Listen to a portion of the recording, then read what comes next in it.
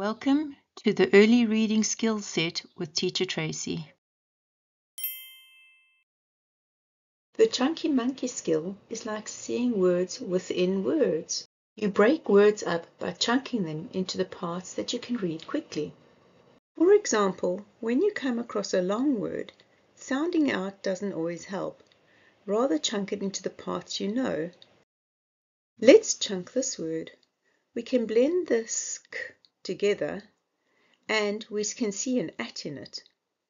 Also, there's the digraph er. And at the end, we know that ed actually sounds like a d.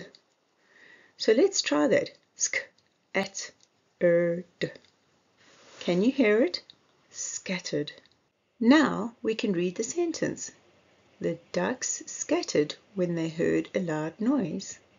Can you remember any other reading skills? Did you think of any of these?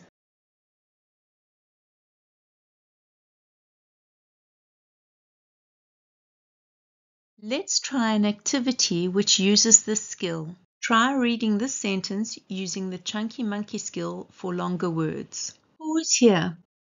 Did you chunk these words?